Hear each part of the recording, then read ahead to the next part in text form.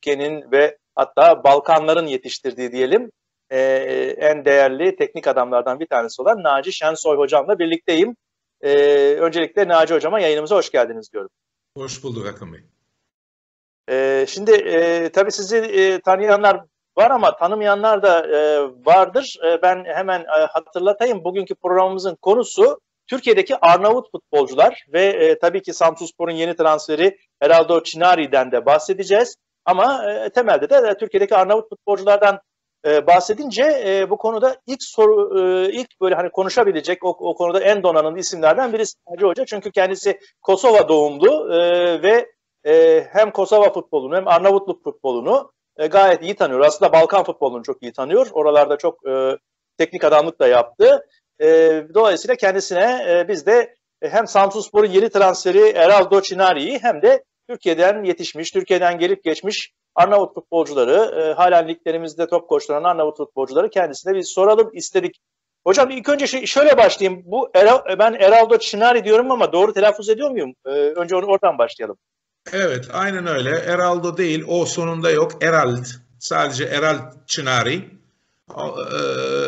24 e, yaşında e, bir genç bir futbolcu.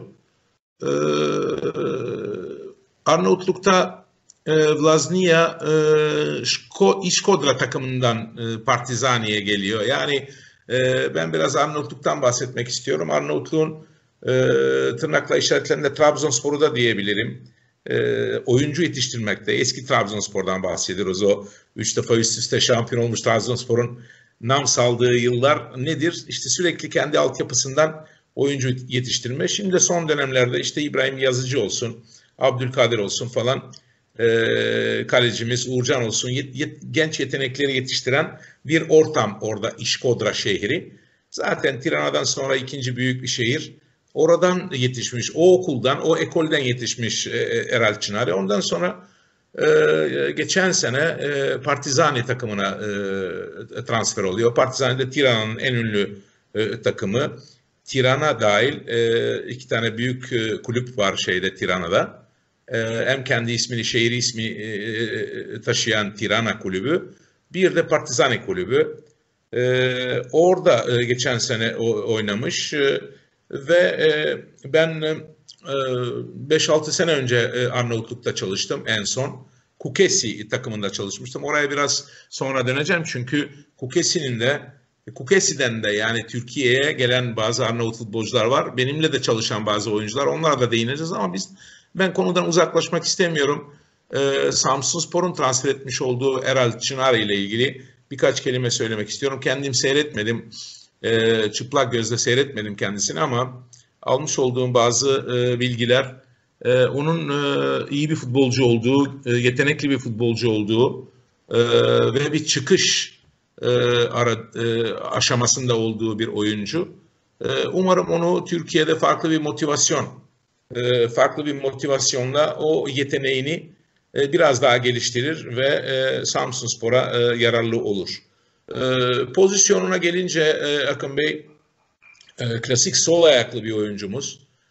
Sol ayaklı ama sol tarafta oynamıyor. Tam tersi sağda oynuyor. Biliyorsunuz Ariel Robben ismini verebilirim yani şimdi e, Ziyad şey Manchester City'de oynayan sağ kanat oyuncu oyuncusu e, bazı oyuncu modelleri e, günümüz futbolunda sol ayaklı olmalarına rağmen sol e, sol tarafta oynadıkları zaman performansları düşebiliyor. Ama o oyuncuları sağ kanatta oynattığınız zaman özellikle yaratıcı özellikleri varsa sadece orta yapma özellikleri değil. E, adam eksiltme, driblinglerle şimdi son senelerde moda oldu penetre edici. Yani İngilizceden alınan bir kelime bazı e, yorumcu arkadaşlarımız kullanıyor. Penetre edip, edici oyuncu. Penetre etmek ne demek? Delmek demek İngilizce. Penetration. E, yani delici özelliği var. Neyi deliyor? İşte rakip savunmayı 2-3 kişi eksiltebiliyor. O tip oyuncular sol ayaklı e, oyuncuları e, sağ kanatta oynatıyor e, oynatıyoruz biz antrenörler. E, mesela bir Sane'yi örnek verebilirim. E, Manchester City'de şimdi Bayern Münih'e transfer olan Sane Nedense gördüğümüz gibi o da klasik bir sol ayaklı ama randımanı ve performansı sol tarafta daha iyi. Sağ tarafta oynadığı zaman o özellikleri yok. Çünkü sürekli topu rakip savunma arkasına e, isteyen bir oyuncu. Ama öyle oyuncu modelleri var ki sol ayaklı az önce belirttiğim gibi sağ kanat oynattığı zaman çok daha yararlı olabiliyor. Bunu Ariel Robben'le de Bayern München e, e, denedi sol tarafta. Pek fazla bir randıman alamadı ama sağ kanatta sol ayakla içeriye e, girip alan şut atma alanını daha doğrusu açısını daraltabilen ve mobil bir santrforla stabil değil mobil bir santrforla böyle ara pasları verip e, gol pozisyonu hazırlama özelliklerine sahip bir oyuncu Eral Çınari. Bu yüzden neden bunları anlattım Hakim Bey? Biraz daha teknik olarak Eral Çınari'yi anlatmaya çalışıyorum. Samsunlular, e, Samsun Spor e, futbol severleri biraz daha böyle kafalarında çok daha net bir resim çizmeleri için e, bunları vurguluyorum. E, Eral Çınari 24 yaşında dediğim gibi e, alternatif pozisyonu e, forvette oynayabiliyor. Yani sol ayaklı forvet biliyorsunuz sol ayaklı forvet de forvetler de e, nadir çıkarlar ama çıktıkları zaman da e, çok baş belası olabilirler şeye e, rakip savunmalara. Bunların çok örnekleri var. E, işte e, Raul gibi Real Madrid'de ondan sonra Davor Şuker gibi sol ayaklı santrforlar. E, ne bileyim en sonunda Lukaku e, biliyorsunuz e, sol ayaklı santrforlar. Yani Eral Çınari e, Vlaznia'da e, Vlaznia İşkotra'da yetiştiği zaman işte sağ kanatta e, oynuyor ama bu defa onu e, Partizani takımı e, direkt forvet olarak da kullanmış. 8 gol atmış, asistleri de var. E, ancak işte sağ kanatta da e, kullanın, kullanabilirliği e, Samsun Spor'a çok farklı bir avantaj getirebilir. Ee, Eral Çınar için e, şu anda toplayabildiğim bilgi e, bu kadar Akın Bey. Hocam şimdi e, şunu anlamak istiyorum. Şimdi Arnavut futbolunun yani hani Arnavutluk liginin daha doğrusu şeyi hani niteliği ile mesela TFF 1. Ligi karşılaştıracak olursak hani biraz daha üstündedir, biraz daha altındadır ya da yakındır birbirine gibi bir yorum yapabilir miyiz? yani orada işte 8 gol atmış, birkaç asist yapmış bir oyuncu e, mesela uyum sağlarsa aynı verimi burada gösterir mi anlamında soruyorum. Çok güzel bir soru e, Akın Bey. Evet Arnavutluk'ta çalıştım. 10 e, takımlık e, Süper Ligleri, 10 takımdan ibaret Süper Ligleri ve 4 çarpı 9 36 maç oynuyorlar. İkişer maç oynuyorlar. Ve ilk ee, Avrupa kupalarına oynayan takımlar bir ilk beşi sayabilirim. E, Teuta bu sene Teuta takımı e, Duresi'nin e, Duresi şehrinin Teuta takımı e, şampiyon oldu ama çok çok böyle foto finish bir e, yarışma içerisine girdiler Partizane ile. Partizane de e, bir puan için şampiyonluk e, kaçırdı. İşte Erel Çınarı'nın takımı Partizane Tirana.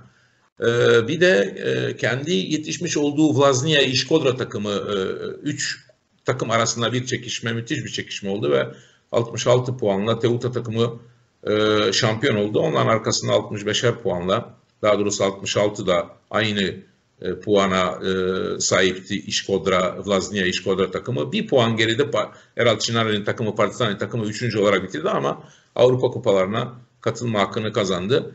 Yani orada oynayan e, bu üç takım artı e, bir, bir iki takım da e, örneğin bir Laçi takımı var bir de Tirana takımı bu sene işte geçen senenin şampiyon olan takımı bu sene işte beşinci bitirdi. Şu beş takım Akın Bey Süper Lig'de küme düşürmeye oynarlar. Yani Peki. zor tutunurlar. Bizim Süper Lig'de zor tutunurlar. Yani küme düşerler. Yani o kalitede ligin kalitesini size e, üç aşağı beş yukarı bir, bir profil çizmeye çalışıyorum. E, bizim TFF birinciliğinde de kafaya oynarlar. Yani bizim Samsun Spor ayarında bir takımdır Partizani takımı. Yani Erel Çınar için e, bu TFF birinciliğinde Samsun'da e, yaşayacağı ortamı zaten Tirana'da yaşamış. Bir, bir de İş, İşkodra takımında yetişmiş. Kalite seviyesi oralardadır ama dediğim gibi e, 24 yaşında olması ona e, farklı bir motivasyon getirir. Çünkü biliyorsunuz e, Balkanlarda öyle büyük bir meblalar meblalar dönmüyor. Öyle büyük bir paralar dönmüyor. Onun 24 yaşında olması ona nasıl bir Vedat Muriç'le bir kıyaslay kıyaslamak istiyorum. Vedat Muriç de işte 20-21 yaşlarında Giresunspor'a geldi ve çok farklı bir motivasyonla Giresunspor'da kendini kanıtladı. İşte bak nerelere kadar geldi. Yani Erol Çınar da bir patlama yapabilir. Benim gördüğüm kadar yetenekli. Araştırdım, sordum birkaç tane e, arkadaşım Arnavutluk'ta. E, izleyicilerimizlere sadece bir e, e, şey vermek istiyorum, bilgi vermek istiyorum. Ben orada e, üç defa çalıştım. Bir defa da kupa finali oynadım Bülis takımıyla. Çok küçük bir Bülis takımı. Bu sene küme düştüler. E, o küçük takımla ben e, final oynadım orada. Ondan sonra e, şampiyonla oynayan Kukesi takımını çalıştırdım. O yüzden e, orada e, çok tanıdığım arkadaşım var. On, onlardan bilgi topladım. Evet e, bir patlama yapabilir yaşıyla itibariyle.